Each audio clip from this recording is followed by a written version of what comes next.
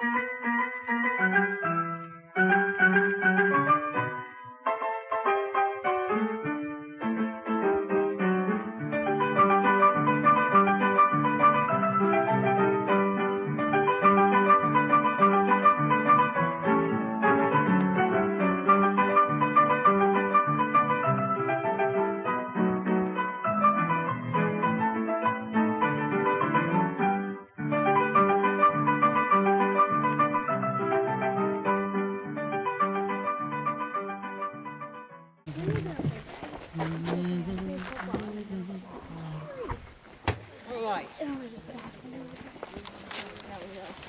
barn is in the original location.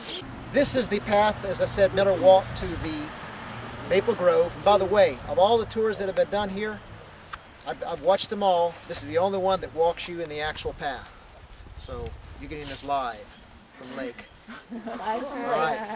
Uh, so anyway, follow me up to the Maple Grove and we'll spend some time there.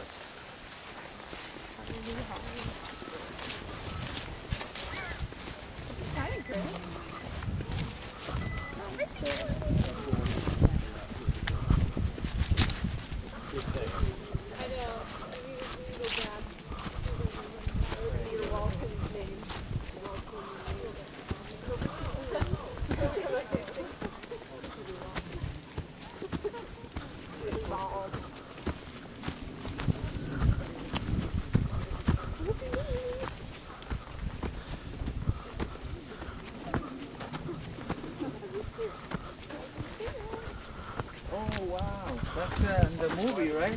Yeah, yeah, we're, that's Ascension Rock over there. Just, uh, Get everybody. what's that? Is that cat? Yeah, let's let's all just stand out here. Where's your, where's your next one? Just come on over here and just stand for a while. We'll, we're, we're gonna make our way over there.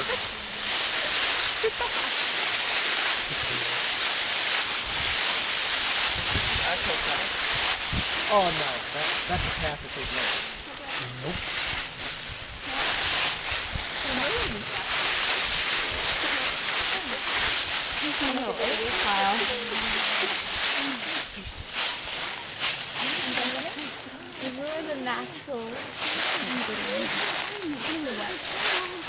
Now keep in mind the paths that have been made. The landscaping is different. We're talking 150 plus years ago. Things have changed quite a bit, but this is the general location. And uh, these aren't the actual trees that were there, but the, this was the area where the Maple Grove was. And it was a place that Miller didn't only come to pray and meditate that one time when he made that remarkable decision to preach, but this is a place he had come to a lot and to pray and meditate and hear God's voice. But that eventful day, uh, after his nephew was knocking at the door, this is where he came and wrestled with God and made that decision that is so important for uh, our movement to preach this message.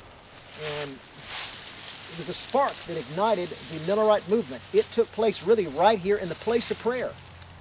That's what this Maple Grove is all about. The power of prayer, the power of surrender.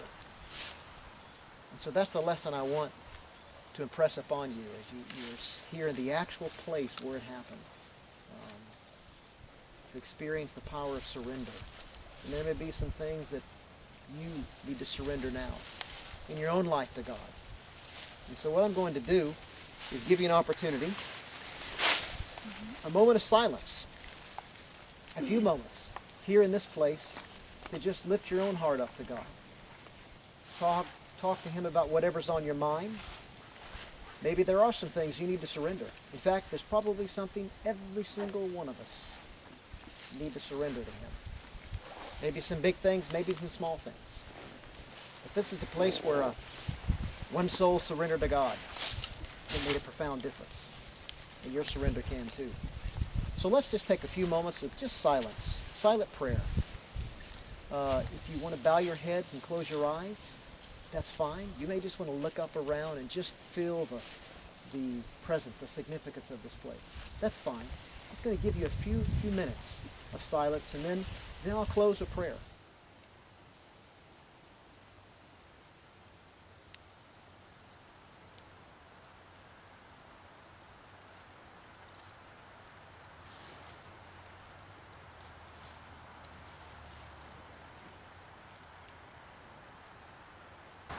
Lord, you've listened to our thoughts, our prayers, our surrender, our struggle to surrender. You know the issues in each one of our hearts. As you did a great work in William Miller's heart in this very place a long time ago, we ask that you would do a work in our hearts today, now, as we surrender to you, as we feel this brief burst of warmth on our bodies from the sunshine. You know you're speaking to us now. So we surrender to you, Lord, to your will for our lives. As Miller said yes long ago, we say yes now to you. May that be each one's experience. In Jesus' name, amen. All right, let's uh, walk over to what is known as Ascension Rock.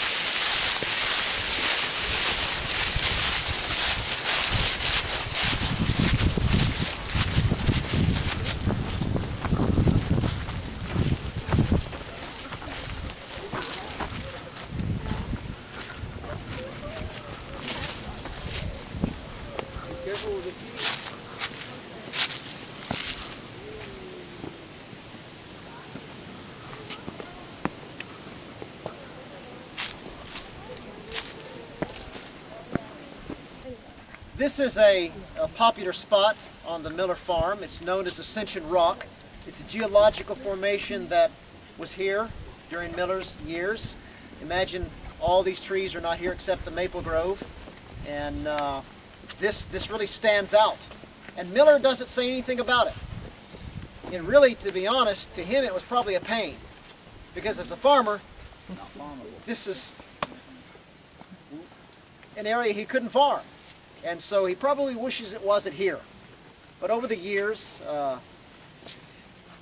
I'm sure the family did various things with it. But we do know that on the day of the disappointment, October 22, a number of the Millerites and friends of the family that were here on the farm waiting for Jesus to come stood on this rock.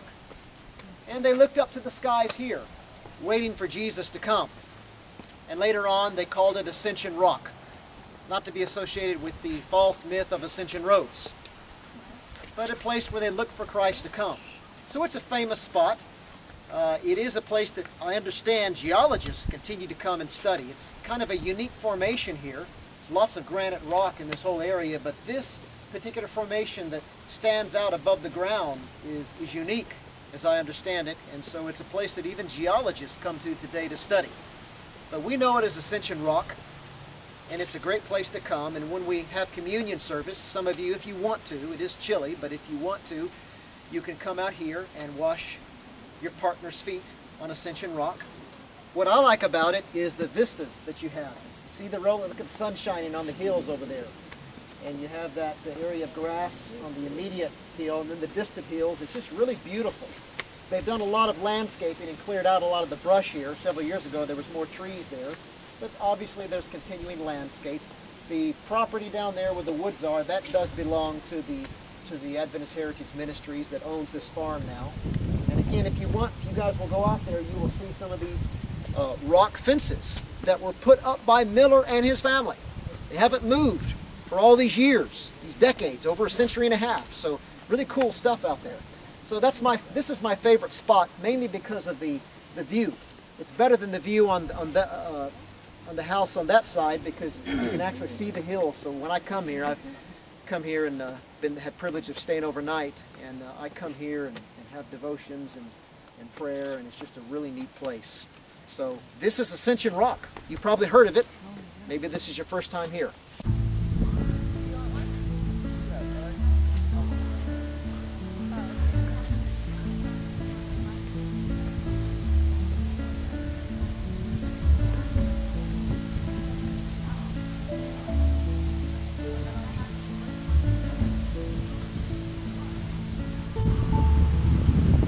And here we are at the William Miller Chapel. See a really cool marker here? It says William Miller Chapel, built in 1848 by Adventist found after William Miller, this chapel was placed on the National Register in 1975. It's a really, really cool building here. But yeah, folks, it's just really cool to explore this, um, the William Miller farm and the chapel. Um, really neat to be here. Um, hope you have enjoyed learning about William Miller here.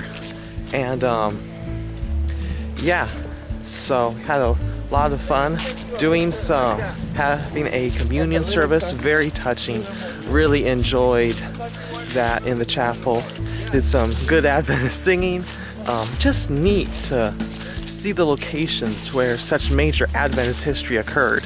I mean, to be at the William Miller farm, to be where Miller in that maple grove went and struggled with the Lord after he had made a deal, and then the Lord came through, and William Miller finally surrendered his heart to the Lord and preached for God.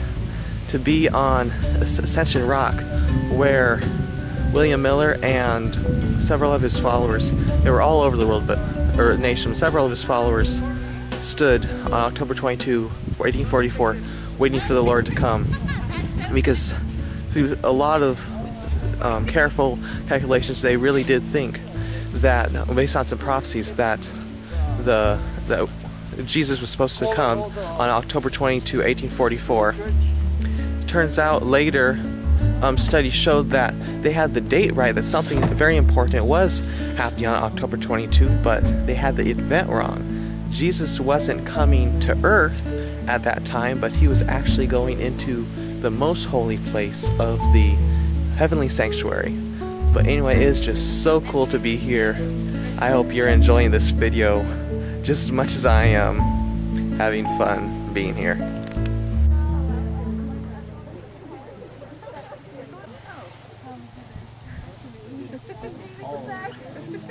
All right, here is the uh, his wife Lucy. Of course, here's William Miller. You remember what it said here about the text from Daniel.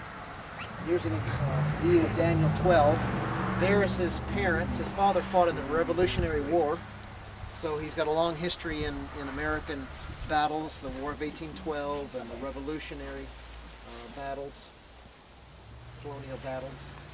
So quite a history. This is a really neat place um, for Adventists because of a statement Ellen White made. And it's very interesting. William Miller did not embrace the Sabbath or the three angels' messages. He followed his good friend Joshua V. Himes.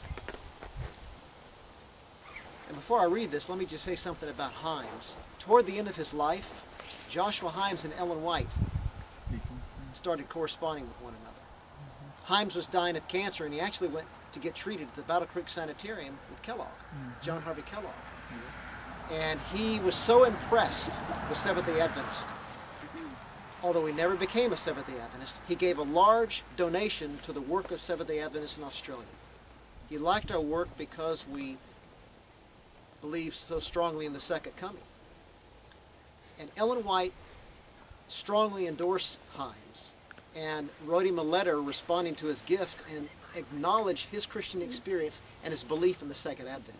And yet here's a man who rejected the Sabbath and rejected the three angels' messages, yet she endorsed his Christianity, acknowledged his belief in the second coming. And I, again, I find that so significant about Ellen White, that she recognized other people's Christianity even though it was different from ours. Mm. And she leads the way for us. That is how we should respond to other Christians. So, shortly after the disappointment, Himes, he established that the rejectionist movement I told you about, that's what I called it, that you, you heard him describe the three groups on the video today, and the first group was led by Joshua Himes. Miller followed with his friend Joshua Himes. Himes had been there as his right-hand man all the way through. How could he turn away from one who had been so strong a supporter and such a dear friend during this time? So in that background, Ellen White makes this most interesting statement. There's two paragraphs I'm going to read. If William Miller could have seen the light, by the way, this is in Spiritual Gifts Volume 1, where she, the latter half where she covers the, the history of the movement up until uh, the mid-1800s. if William Miller could have seen the light of the third message, that's the third angel's message, many things which looked dark and mysterious to him would have been explained. His brethren professed such deep love and interest for him. That's Joshua Himes, other Millerite leaders. He thought he could not tear away from them. His heart would incline towards the truth. But then he looked at his brethren. They opposed it. Could he tear away from those who had stood side by side and shoulder with him in proclaiming Jesus coming? He thought they surely would not lead him astray. One thing Himes did is keep the movement free of fanatical ideas. But the problem with that is he rejected all manifestations of prophecy and visions. So he rejected young Ellen Harmon's vision, although later on they would become friends through correspondence, years, decades later. And here's his final paragraph, which contains a very important statement related to this spot. God suffered him, William Miller, to come under the power of Satan and death to have dominion over him. And by the power of Satan, he, she means the dominion of death. He hid him in the grave, away from those who were constantly drawing him from God. Moses erred just as he was about to enter the promised land. So also I saw that William Miller erred as he was soon to enter the heavenly Canaan, in suffering his influence to go against the truth. Others led him to this, others must account for it. And here's this often quoted statement. But angels watch the precious dust of this servant of God, and he will come forth at the sound of the last trumpet. Amen. That's cool. We'll see William Miller in heaven. Amen. He's one of my favorite characters in Adventist history. Amen. I, I think I may go after him before Ellen White. Shake his hand. So anyway, angels watch the dust of this precious servant of God. So that's the significance of this gravesite. I mean, in terms of our, uh, our places that we'll see, this is our last site, and then we'll uh, go eat and go home. Amen. But uh, it's good to have a closing prayer for everything. Thank God for the blessing, what we've experienced. Everybody here, let's bow our heads for prayer. Heavenly Father, we are so thankful for the journey you've brought us on together, this adventure we've shared in these historic places relating to our own Adventist history. We want to thank you for a number of things. First of all, for the traveling mercies for our good bus drivers. We want to thank you for the weather you gave us. Mm-hmm. No rain. That was so nice, Lord. Thank you. Thank you for the good food, the good places we stayed, the people that we've met.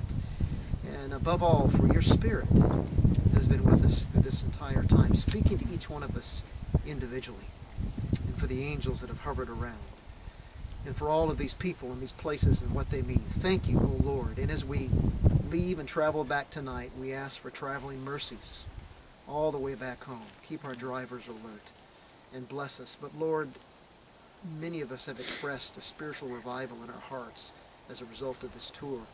We pray that, that we would not lose that experience, that those that have had a revival in their hearts would maintain that, and you and you alone can help them do that. So keep this experience alive in our hearts in the days and years ahead, that we would never forget this rich heritage you've given us as a people and the experience you've given us on this tour. So bless us each to that end, I pray. We surrender our lives to you just now. Thanks for our heritage. In Jesus' name, amen. The mercy of grace where the pilgrims sleep shall be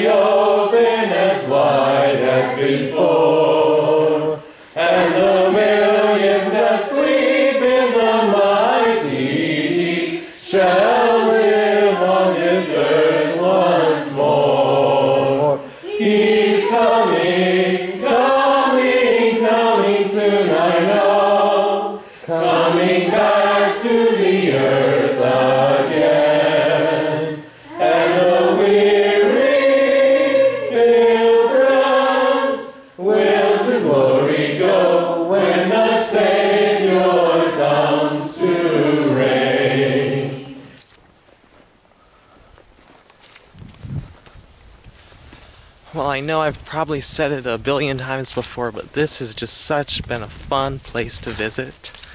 And every place, site that we visit has such a unique charm, but to be in the study where William Miller studied the Bible and God gave him those insights to be walking the very path like I am right now out to the Maple Grove where William Miller fought with God after he bargained with God and God up his end of the bargain and but then where William Miller surrendered to God and he he preached for God and to see Ascension Rock it's just where Miller and his friends so faithfully waited for Christ to come is just so amazing, so faith building to be here.